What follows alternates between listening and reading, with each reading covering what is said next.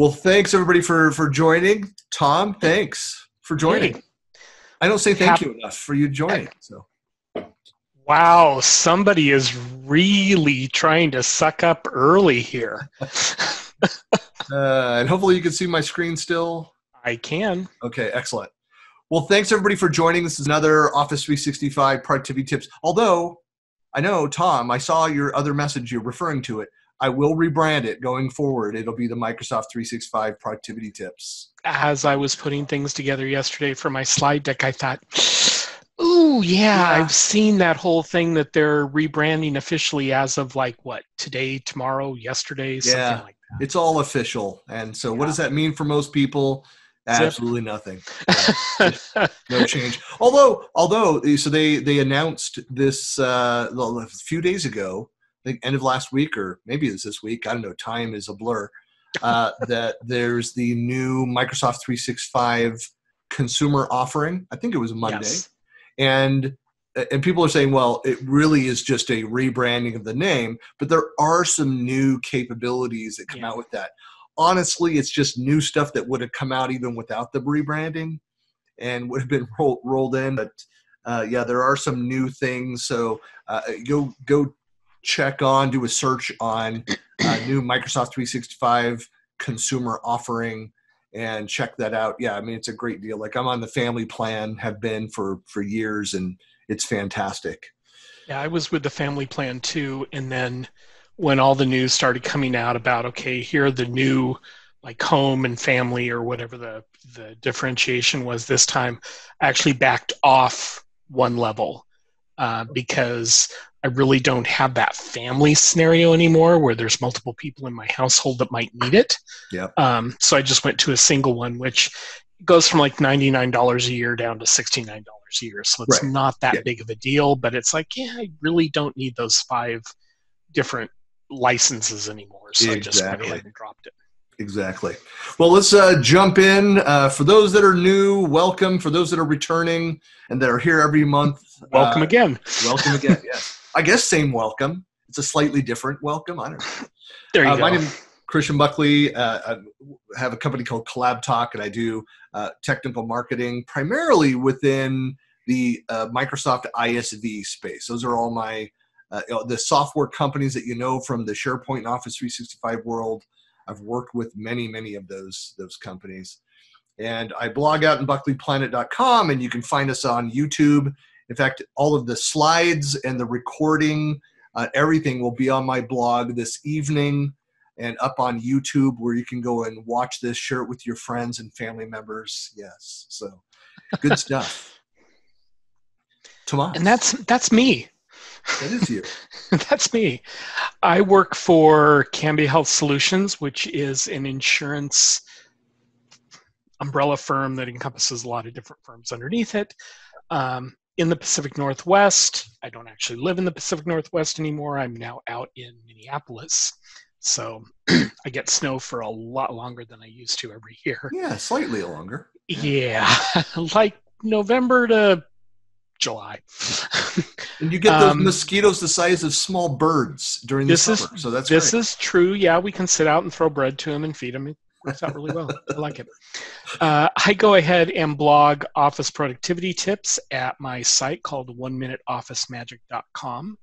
And that's where you'll find a lot of these tips, plus tips I've done in the past, plus tips that Christian beat me to that I couldn't use in this particular format, things like that. So feel Yeah. free to go out and visit my uh, visit my site.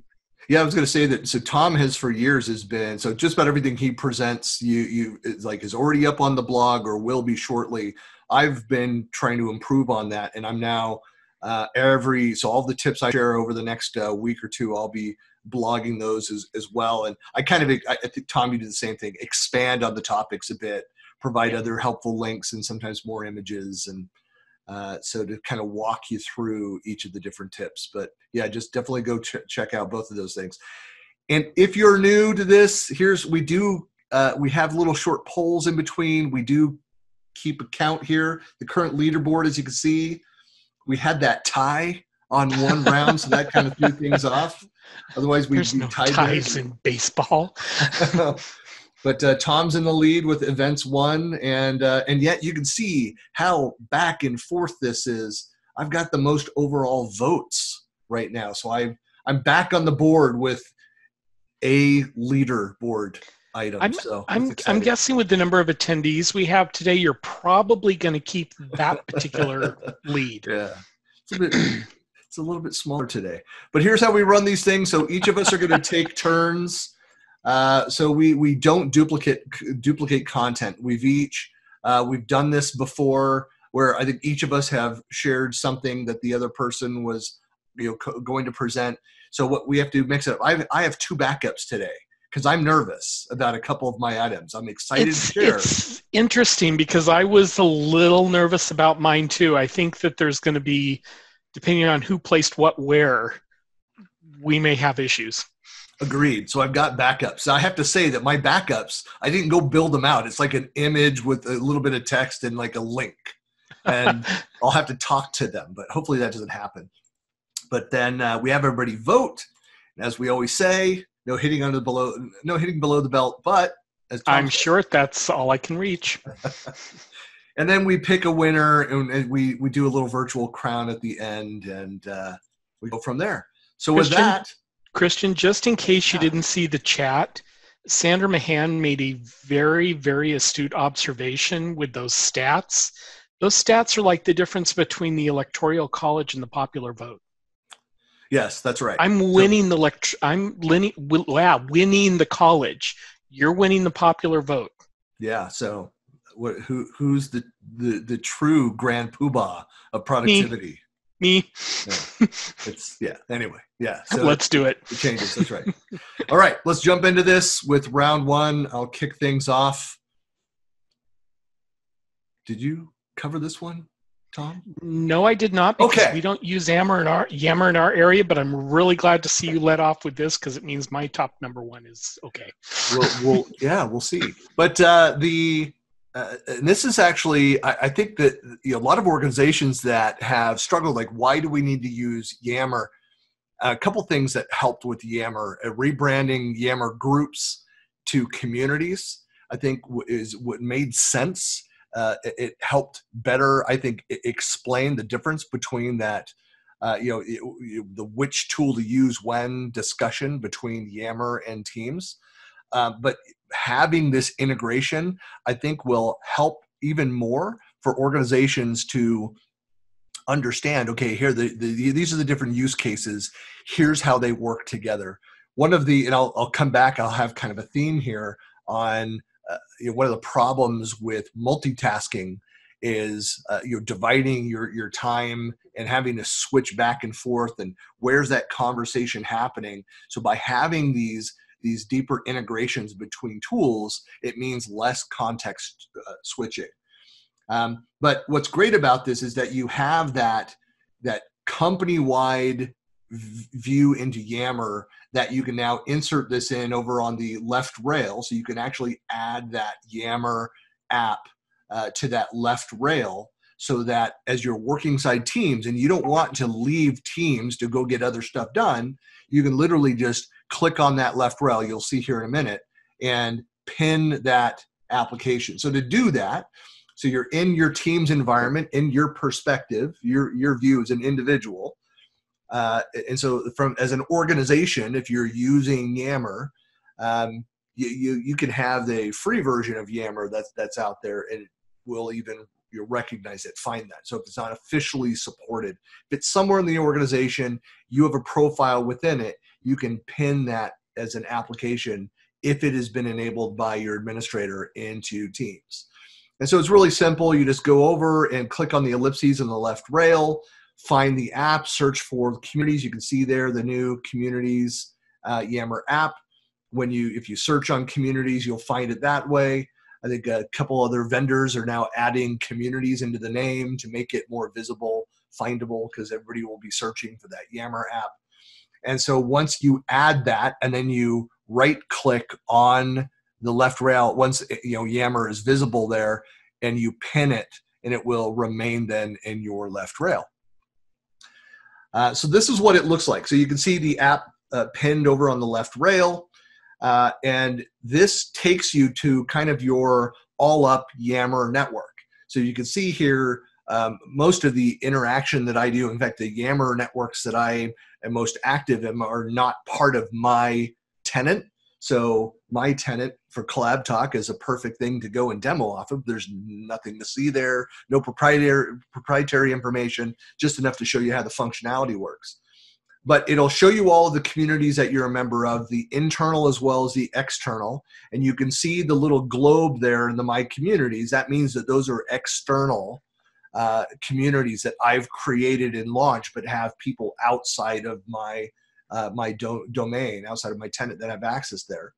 And then it's really easy there to go in and create new communities and discover new communities. But the goal of this is that you can see no matter where you are working, if you are moving back and forth between the more focused collaboration and communication of a channel discussion in teams, but want to go and review discussions that are happening over on Yammer, um, not having to switch applications, just click on that icon, instantly you see your entire Yammer world. Now, the as I mentioned earlier, it, it greatly reduces the context switching between applications. However, if you want to align a specific discussion in a Yammer community uh, with a specific channel, then that is not what the new left rail Yammer app uh, experience does. You still want to add that communities app to a tab within that channel. So by opening up a new tab, and you'll see this experience where you can go in, search on, find the communities. Um, uh, you point to the right, um, the right group, uh, or they need to rebrand that Yammer group needs to be rebranded as Yammer community, but to that community and the conversation that's happening there, you can, of course, all, all, also go over into Yammer itself and select the shareable URL for that conversation.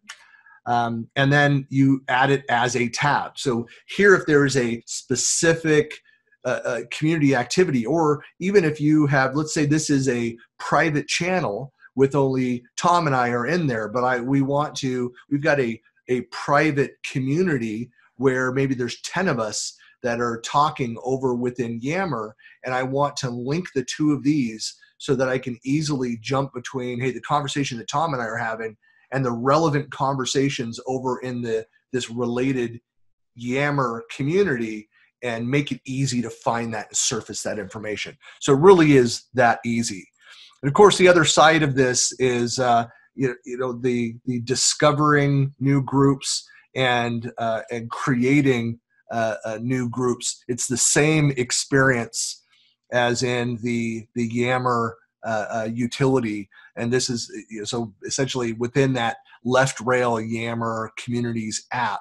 If you click on Discover or click on Create a New, it just opens up the Yammer experience to add those. Then, of course, you discover new, those new communities that are public and open or request to be invited into the ones that are visible and then they will then show up within that application very nice and that's it yeah. i we started at our company started looking at trying to do a proof of concept on yammer but we were trying to do it at the same time we were doing our migration from sharepoint 2010 to sharepoint online it never really got the traction that it needed or the attention that it needed.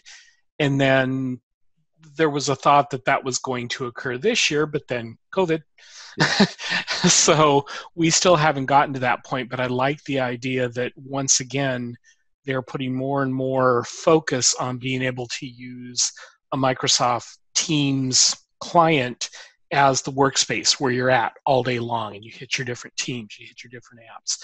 I will even venture to say it's very similar to the concept that Lotus Notes used to use, where right. you'd have your Lotus Notes client and you had all your little Lotus Notes databases that you used. It's getting to be a very similar type thing. So, right. agreed. Yep. Okay. All right. Over to you. Stop sharing. Um, so what I'm going to lead with today is like the huge Microsoft Teams feature that everybody's been clamoring for, and that is being able to do background images in Microsoft Teams meetings. this was one of those things that a lot of people had been asking for it a little bit, but with COVID 19 hitting, everybody going to work remote, Zoom taking off, you know, in popularity beyond, I think, what anybody else figured out. Zoom could do all the background images, and people were like, hey, we want to do background images.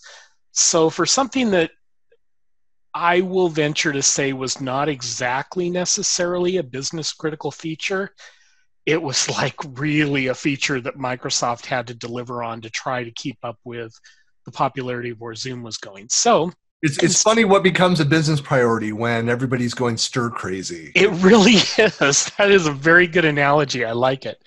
Um, so in this particular case, we do have background images now. So it used to be when you were in a meeting, you would go ahead and click on the ellipsis in the little bar, device bar that you've got there, and it would show you blur background. Well, now that's changed to show background effects. So if you click on the ellipsis, you click on show background effects, what you end up getting is a side panel here that lists the default Microsoft images that they've provided. And there's probably what about a dozen or so. Um, I don't think I've lately counted as to what there are. Yeah, but they've got a basic blur one up in the upper right corner, and then they've got various images that they've added. Some of them are empty rooms. Some of them are like looking out the window of a business office. Some of them are medieval villages, really heavy on the space themes because we're all geeks.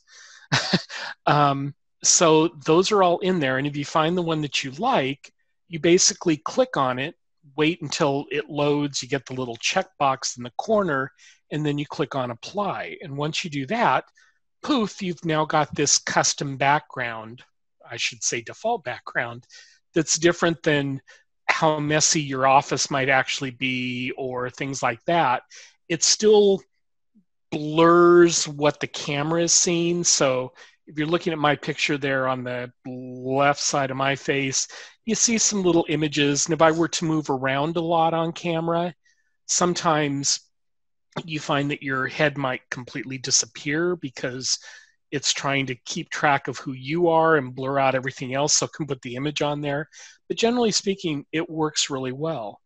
Another thing that you have available to you also is that if you want to check out the different images to see what it looks like, you can select an image and do preview. And when you do preview, this shows you what it's going to look like, but it doesn't show it to anybody else who might be on the call.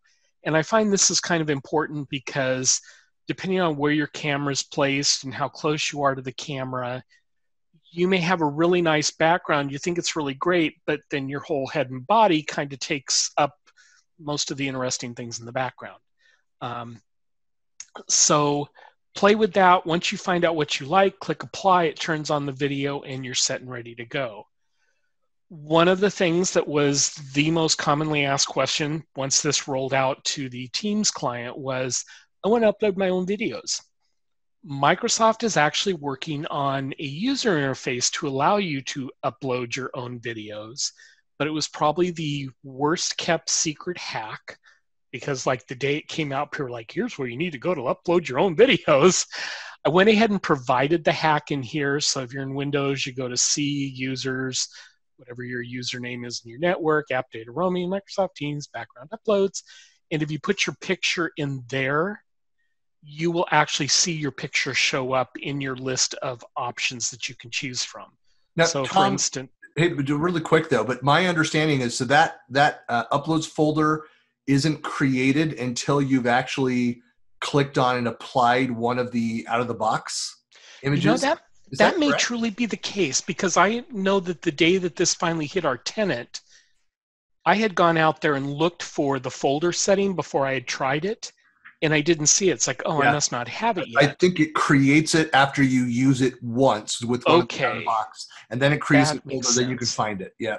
Yeah, and I will I will advise you to make sure. I mean, they recommend that it's like um, nine let's see the resolution should be like 1920 by 1080 so instead of just having a little square which isn't going to work really well I would advise you, if you do have a background, to go and perhaps try to make it as I don't want to say low res, but don't sit there and go, hey, I've got a high def background in here, because it's probably going to impact network usage.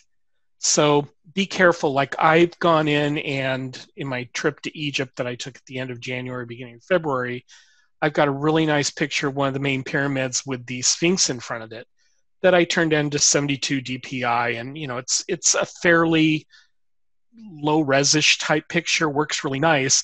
But in terms of looking to see how you center on it, when the camera comes on, you don't know the Sphinx is there because it's behind my back, basically. But you can upload videos there, and I'm going to say probably within the next two to four weeks, you'll probably see a user interface here that allows you to upload videos and gives you all the the right recommendations of what to do and there's less chance of you going out here and perhaps inadvertently deleting something or you know causing this not to work at all in your team's client. So just be careful. I will also put the caveat in there just because you can doesn't mean you should. So remember in many cases you are in a business situation uh, so yeah it might be really cool to be on the rebel base you know and the death star and the whole bit keep in mind your company culture. That may be fine. Everybody may think that's cute. In some circumstances, you may want to opt for something a little bit more professional. So just keep that in mind. But this is a really cool feature. I like it. Um, so yeah, give it a try when you get a chance. I'm pretty sure it's the same technology that they use to fake the moon landing too. So just uh, exactly, exactly. Actually, I was on a call with somebody the other day, and the background that they chose to go with was a picture of looked like the Apollo astronauts. The one guy sitting in a recliner on the moon with a bottle of beer in his hand. I'm like, I like that one. he goes, Yeah, but I probably couldn't use it in company meetings. I'm like, Yeah, you probably couldn't. You're right. and almost, we almost had a first, a first time here, where uh, one person, Tom, got all the votes, but somebody had pity and uh, is a Yammer fan, and one person voted for for mine. So I'm going to end the vote there. Uh, so 96% of that vote. Ooh. All right, Tom. Number okay. two. Okay, you- go to round two here. Round two. This is something that because I put together these tips for internal distribution in a site we call Spark One. Um, I do a lot of images using uh, the image web part on a SharePoint Online page. And usually you put the image in there and it just kind of goes to whatever size the image is. And you may think, oh, it's not a big image until you upload it and you realize that it was like high def and was 2450 by something else and your page is completely blown out of proportion because the pages tried to accommodate the full size of your video.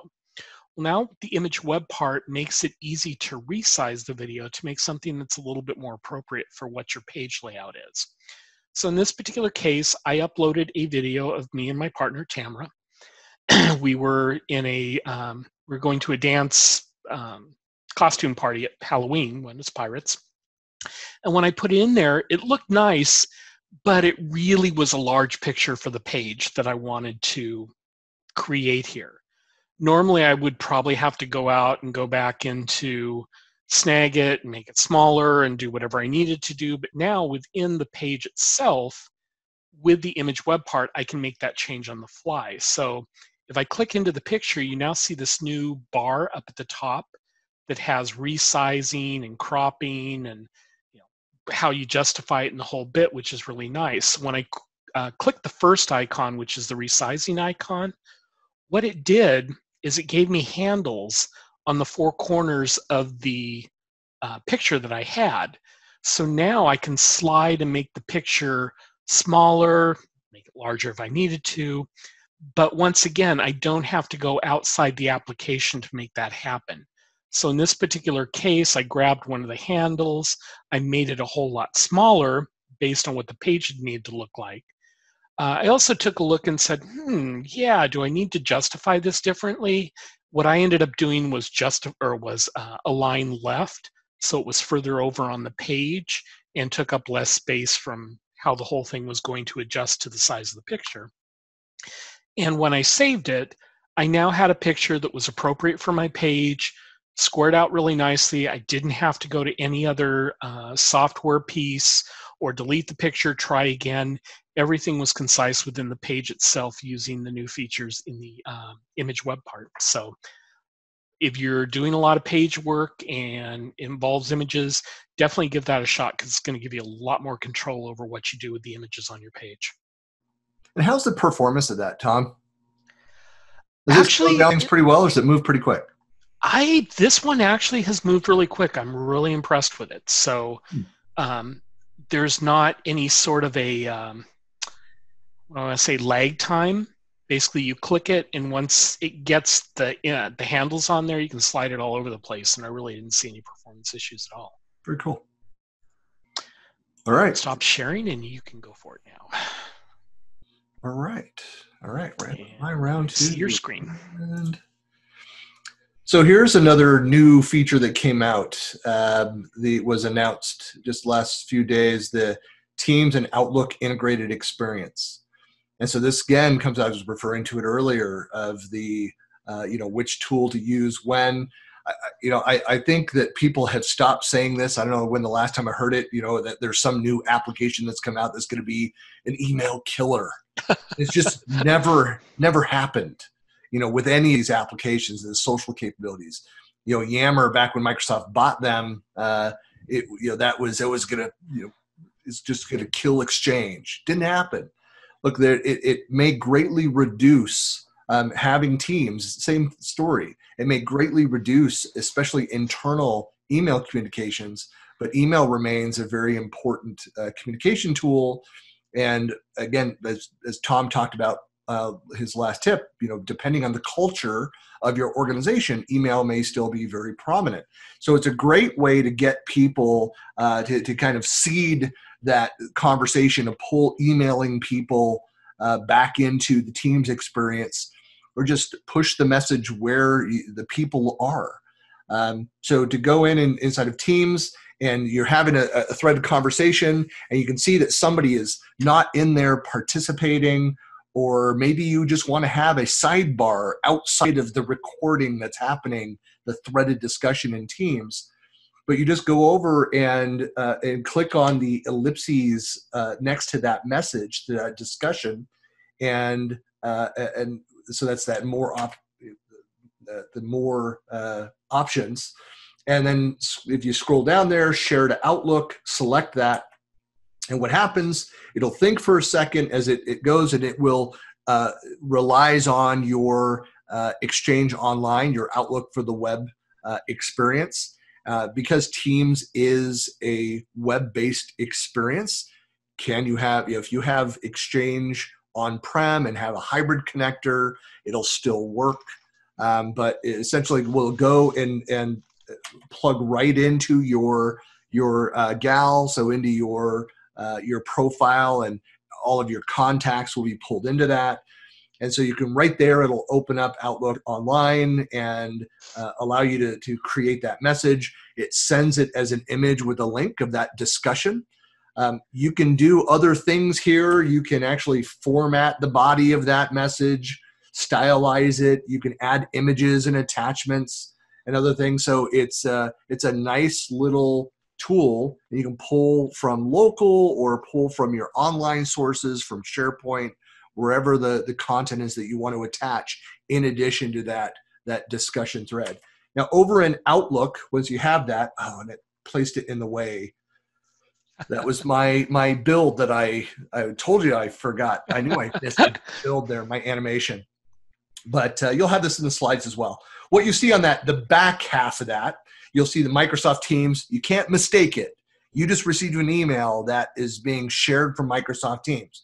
What it's covering in the bottom right corner is the ability to go to Teams, what I've got in bold there in the text. You'll be able to click on that. So you can respond via email, as I'm doing here. Um, so yeah, I, I, I yeah, I, I noted that one just now. I'm sure you wanted to be aware of that. I like that. It's like you really shut down Tom's argument, and as he was clearly out of his mind. Oh, nicely played. Nicely played. hey, I can I can send these emails to myself. It's none of your business, Tom. Yeah. So, uh, yeah. It, it's um, and so you can of course respond, keep it with an email, or as I prefer to do is uh, you know I, I use that as just another reminder hey this this conversation i want to participate is going on over in teams. And so you can you can use this as a as a, a prompting like hey tom there's this discussion you probably want to jump in and voice your opinion on that's happening in teams and you just need to go down and click on that. So it's a great way to kind of cross pollinate between email and teams I like that one. I was unaware that that feature existed, and uh, well, it's brand new. Yeah, I may have to promote that one internally in our um, tip site that I do, and let people give that a try because I like the idea of being able to send them an email, which they're likely to see, and say, "Hey, you know, pop on over here if you haven't seen this yet and check it out." So. Right. All right, and we've got one round apiece. I would have voted for you on that one too, my friend. thank you. All right, so let's jump into round three. So here's one of my favorite, absolute favorite productivity tips. You probably it's a two-parter. You probably know the first part, but do you know the second part? Uh, using Alt Tab and the Windows key to organize your desktop. And so I've got a bunch of text here, but I'm really just going to talk to it. So the first part of that is so I have two screens. I've got my primary and a secondary screen. And so my secondary screen, I basically have uh, email and to do and Spotify that live on that other screen um, pretty much all day, every day. Uh, and then my primary workspace, I might have a dozen different applications open and using Alt Tab, if you hold down Alt and hit Tab, will help you to toggle between those. So that's that screen, that, that, that, view down below. You can see, hey, I've got these different things. I've got my Snagit editor and the capture tool, and, and of course the things that are open on the other screen. But I can easily jump between those applications as needed. Uh, and, and so that is just a quick way to uh, and I make some comment about the productivity sapping uh, idea of multitasking, which is just it's just not true. It's not real. Uh, you you multitask, you lose capability. So the the more streamlined you can make that, and that's why context switching is so hard, and it actually kills productivity, and why things like the integration with Outlook and with Yammer into Teams, so that Teams can increasingly become your single workspace uh, you know make sense. But obviously, it's not going to be possible with every single tool that's out there. I mean, you can edit Word docs and Excels and PowerPoints and OneNotes and all of that right from within Teams, but that's for another day. Um, but so there's the, the Alt tab, the first half of that. So hopefully, I, we can't do a show of hands. If we were in a live session, I would ask uh, how many people are using this and aware of that. It's just fantastic. The the other thing that you might not be aware of is screen splitting. And so this is where you know within each of those browsers, you can actually, if you've got multiple screens, you can do this on each of your screens, um, but it will do one screen at a time. So essentially, what this is, like if I'm in editing, in this example, I'm editing an article in my OneNote, and let's say I'm referencing a browser, or I'm referencing, in this case, I'm uh, you know, a conversation that's happening over in Teams. So what I do is I, I click on or I'm in OneNote is then I uh, click on and hold down the Windows key uh, and then I hit the right arrow. And what that does when I do that, it'll divide my screen and that screen that I'm working on, and it will kind of lock it. It'll frame it in on the right side of the screen because I hit the right arrow. I can, if I want it on the left, I hit the left arrow. And then you'll get that kind of similar to the Alt Tab experience. You'll get all of the other applications that are open. You select the one that you want to fill the second half of that screen, and there, it'll split the screen. Uh, and so if you want to then say, well, I don't need to see that much of Teams, I'm, I'm working over in OneNote, you can actually grab that divider and drag it over to the left to give more screen space to OneNote, and just so that you can reference that website or, in this case, Teams. That is pretty freaking cool. I mean, I've done it before where I've like snapped it to one side or snapped it to the other. Um, but it always usually takes like three or four times to get it. And if you've got your monitor set up to where trying to snap to the right side of your monitor actually just causes it to go off to the other monitor, uh, this is a really nice way to get that exactly set, exactly, you know, even between both sides without you having to go, well, you know, okay, I'll make it smaller here and I'll, yeah, give it enough room. Try the other one. Oh, nope, it's overlapping. Now I have to slide that one over. This right. is a really nice way to get that set up really quickly. And right. then you can just proceed to get back to work instead of having to try to figure out, you know, how big each screen is to get you some semblance of screen splitting. Like exactly and it's and and when used in conjunction with the alt tab so these are your two primary especially if you just have a single screen like if you're traveling and just have a, your laptop and you've got a dozen applications that are open, but you're you're primarily working within two, split your screen this way, and then use Alt Tab to go jump and open up the browser as the third, right? And back and forth between those three, so it'll retain the shape of, of the, the the two, but it's uh the the other. I mentioned this in the text there that, that I blew past, but uh, when you think of this as the third tool kind of in this family is the Windows timeline capability.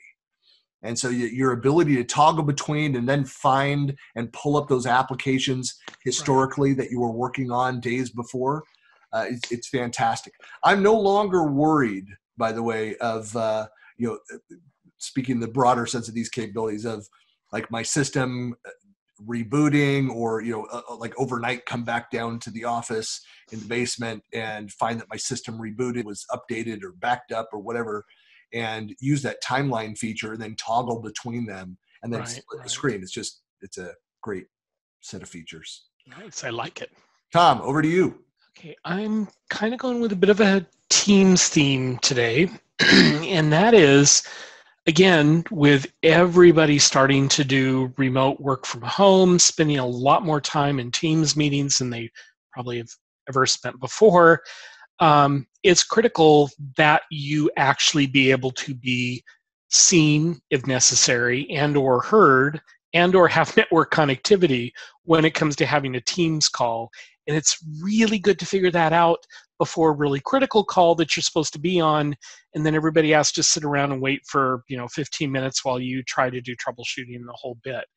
What you can do in microsoft teams beforehand to make sure that all your equipment is working correctly is you can use the slash test call feature which skype has something very similar to where you can place a test call in skype and speak for a while and see how it sounds coming back out in the whole bit this is similar in nature to that, but only obviously focused in Teams.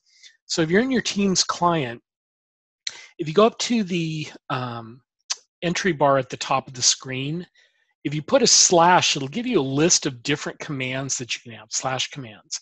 One of them that you can see here is test call. So if you go ahead and click on that, what happens is it automatically starts a call with something called Teams Echo. TE. And it shows you your Tom, device bar. Tom, you were supposed to say Teams Echo. Echo. Echo, Echo, yeah. I'm sorry. sorry. You're right. I really did blow that one. No, that would have been good. You call yourself a theater person, Tom. Come on. Yeah, it's improv. I'm just going to keep going here. Not a problem. Yes, and Echo, Echo, Echo. There we go. um, so it brings up your device bar here, and it will show you your video camera. It'll show you your microphone and obviously the ability to hang up if you need to. But once the call connects, it will basically say, please leave a short message, and it's going to be recorded and played back to you to make sure that one, your mic works, and two, your headphones or whatever device you're using for sound works. So when you get that, comes up, babble away for, you know, five, six, seven seconds, you stop talking, once it realizes that you haven't said anything for a couple seconds, it goes ahead and stops the recording and then plays it back to you to make sure everything's fine. And in a perfect world, which fortunately I had in this case, it comes up and says, hey, your microphone's connected, your speaker's connected, your camera's connected, you're connected to the network. This is great, has everything you need. But if all of or if any of these came up showing that they were not working properly, that's when you can reach out to your help desk, your team's administrator, whatever, and get that resolved before you get onto a meeting and you find that you don't have the type of connectivity that you have. So this is a really nice feature. It's painless to do, and I really recommend you do it, especially like if you've gotten a new configuration or a new computer or something like that. Again, run this periodically just to make sure everything's running okay. Um, your different meeting mates will appreciate it highly. you remember the old days when they, they used the phrase, you know, plug and play with all the different products. plug and pray. Yeah, I'm right. But I think that's the point. It was it was never really true. Uh, there was always some some issues, and I think it's great just from a messaging perspective that they've kind of stopped making that claim and uh, and made it easier to go and test things. You know, so right, all right. So it's uh, seventy five percent uh, to me this time. So thank you, everybody. It's probably well well deserved. Probably, yeah.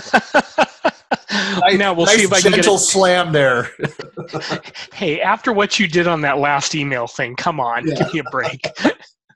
Uh, okay, we'll see if I can get it. Mind, of course, would say that, Tom. Come on. Yeah, of course, of course. We'll see if I can get it tied up here going into the final tip.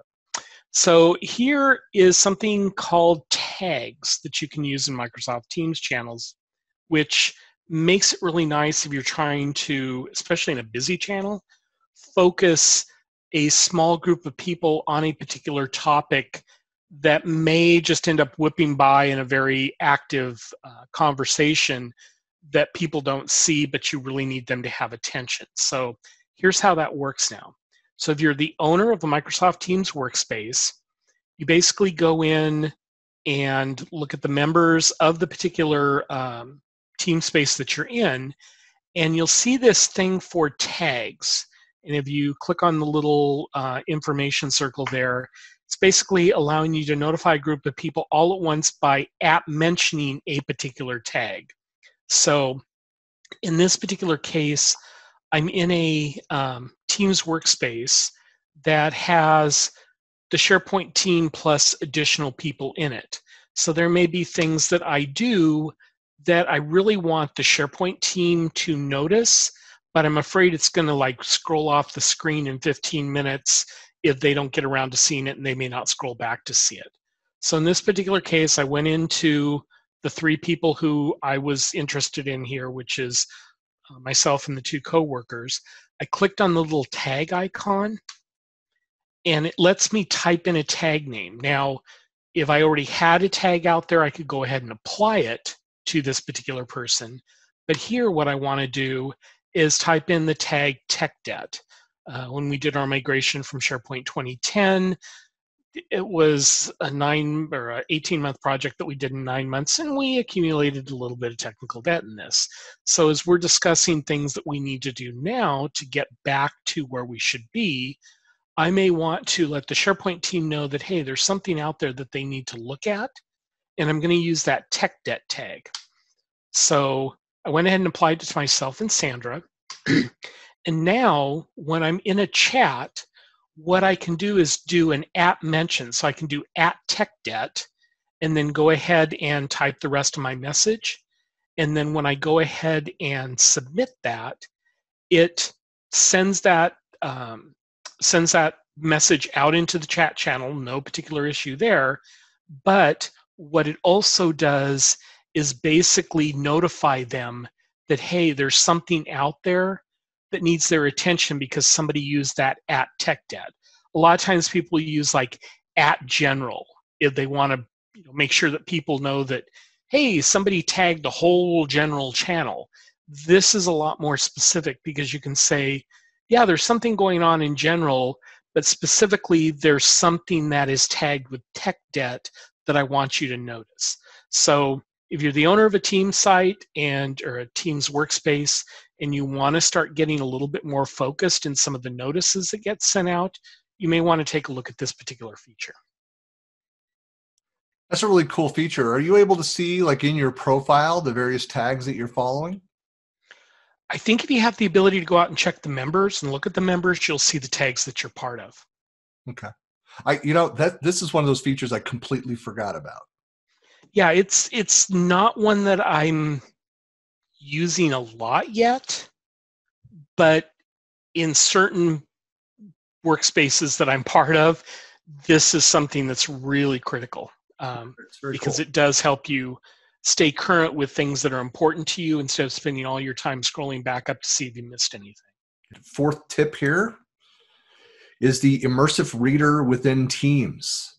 And so this is just kind of a, a simple but really cool thing. Uh, whether you have, uh, uh, you know, visibility requirements, uh, you know, usability requirements where you need to to use the reader capability, or if you are again multitasking uh, and uh, want to have uh, messages that are that are longer and have it kind of read back to you while you're semi paying attention doing something else off the side or hands free uh, you know whatever the reason uh, it's really simple to go in and do that. So it's just as as simple as going into the ellipses on that message and from the menu dropping that down you can see the immersive reader just select that because I could have highlighted that box in those animations that I should have done.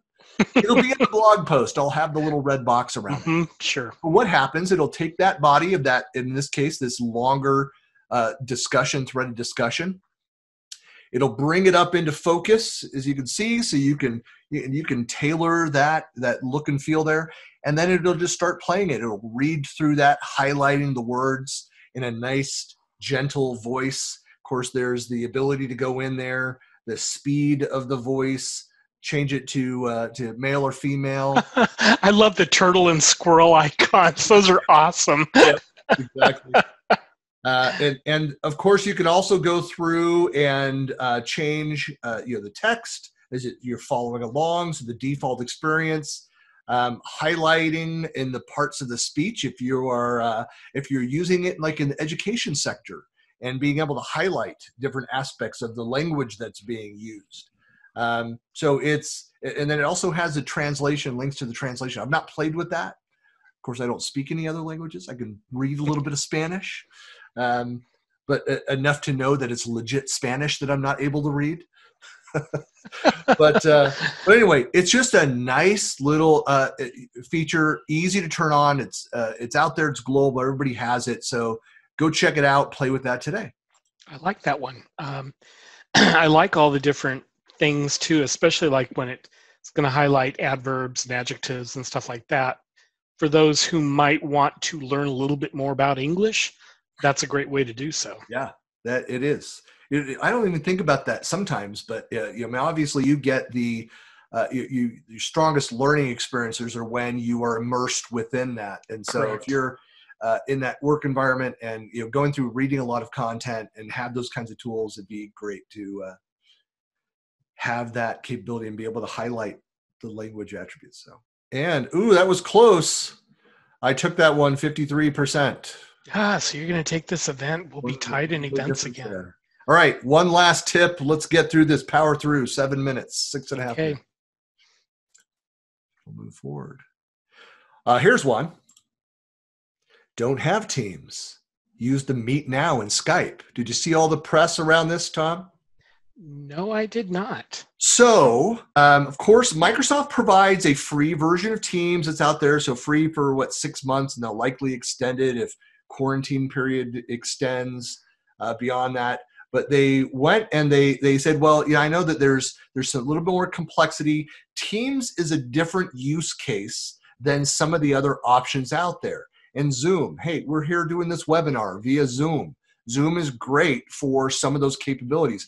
I get flack from people. I, I do like the weekly office hours, as you know, Tom. Uh, every Monday, we do it uh, early in the morning and then in the evening for Asia Pacific, and with a bunch of MVPs and, and community experts where we answer questions. And we live stream on Facebook and YouTube. And we, we get every single week people giving us grief for like why are my, these microsoft people doing this on teams what does that say about teams and it said well what it says is that teams doesn't live stream not that it's not a great platform it's an enterprise collaboration platform and when you want to just do with friends or family members who don't have teams running to have them download and install teams and go in there and add into like all of those steps that are required to make that work. And yes, much more robust capability. Sometimes you just want to have a video chat and you don't want them to have to download and install anything. And so Microsoft looked at what was happening with Zoom and said, you know, we've got this solution out there called Skype, the Skype consumer, which is not going away. It's a fantastic tool that's out there, and people can go and use the free version of that. And so they've created the Meet Now capability. So it's as simple as going out to the web, going to the website, the Skype site, um, creating, as you see there, create a free mo- meeting. Don't need to download anything to participate in that. You create it, it thinks about it, creates a link, and there's the link. Don't try the link. I've that's a fake link. um, but from there, you can then go in and share the invite out. So you can copy that, send it via. Look, the default is Outlook or Gmail because Microsoft recognizes that those are the top two. And so they provide that method so you can have that default experience. And right there from the interface, again, I've not downloaded anything else. Just push out that email, send it to your friends, uh, and uh, or copy the link, paste it in, share it out with the world, whatever you want to do for that meet now. And then for you as the host of that, it will use it'll open up inside of your Skype consumer experience, and you can see that meet that meet now. And there it is. And there again is the fake URL.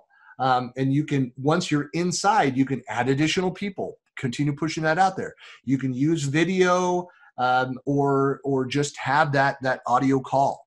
But it's free. It's easy. There's no download, and there's no need to go and and uh, you know use some of these other. If you are a Microsoft shop and must use all things Microsoft, there's an option that uh, it, it, doesn't have the 40 minute uh, meeting limit that the free Zoom has, which is uh, is my in-laws up there using the free version of it, and I've said like use my instance, you record it, do everything, but but no, they're just continuing to do that, and it kills the meeting after 40 minutes. Uh, or use this free version of, of Skype and do the exact same thing. That's pretty cool. I like this one. I was unaware that this right. existed. So this is something that I've shared before in Word being able to make pretty links.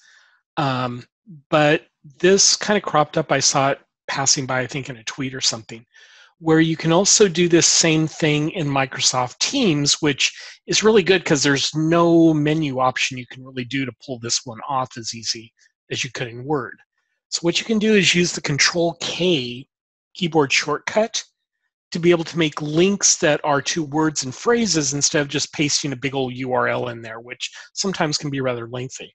So in this example that I have, I'm in a Teams chat, and I want to turn Microsoft Bing into a clickable link instead of putting the whole URL for uh, Microsoft Bing out there. Granted, that's a short URL. Sometimes if you're like linking to a particular document, say in a SharePoint library, that thing can go on and on and on and on and on, which kind of throws off the look and feel of your particular message. So in this case, what I do is I go ahead and highlight the word that I want in this case, or phrase. Uh, in this case, it's Microsoft Bing, and then I press Control K on my keyboard. And what that does is it pops up an insert link, much like it does in Word also, but in this case, you're in Teams and it shows you what the text is that you've highlighted and gives you a place to go ahead and copy in the link that you want that to happen or go to once you click on it. So as you see in my second Im image there, I've got the link to Bing and when I click on insert, what it has done is it's turned that phrase into a link within my chat. It's still gone ahead and done the preview and I could click on the little X if I wanted to and get rid of that preview. However, I now have a message that's formatted a lot more nicely. And again, if I'm dealing with a URL that goes on for like four lines, being able to do this and just maybe put a uh, t- the title of the document and turn that into a link is going to be much easier to deal with in your chat. So again, think of the people who are trying to read through tons and tons of chats all day. And if you have the opportunity to put a title of a document that you want to link to, give this a try so they see the link that they can click on instead of having to look at a bunch of URL there that may be confusing or may take up more space than it really needs to. Two and that's things, it. Yeah, two things on this. Uh, one, uh, so I was uh, frustrated that I couldn't, in the Teams experience, you know, select a word or phrase and right click and see like and add a link. Um, that wasn't possible. Um, so that uh, you know, I, I saw this. I was aware of this this feature. You know, looking at the link, uh, the the keyboard shortcuts. Um, but uh, you know, the the other the other um, yeah. So uh, the the other thing though is Tom, I saw you tweet about this, and I thought about. I said, you know, he's probably gonna add that into his. his I almost did that. I had a sixth tip that I could have gone to, yeah. so you could have done it. so it's always fun when that that's happened. Uh, all right, so the the final poll is out there. That's true. You yeah. you are the owner. all right, and uh, I'm going to wrap up the poll. And Tom, congrats, 68%. Thank you. And so just to wrap up here, um, so I guess overall for the event, so three of the five I've taken this event. So uh, we're back to a tie for that stat. Woo-hoo. It's amazing that we are so close. Yeah, that's right. We are we are close, Tom. That's I tell everyone we're close. Um, yeah, and then you say that I'm out of my mind, and you shut down my arguments in the email. yeah, well, it just I do what needs to be done, you know. So. Hmm. Okay, so is May mediation interesting? Yeah, so it might be the kinder, gentler uh, competition because it's the mediation. But but then again, some mediations fail. So yeah. Yes, some mediations do fail.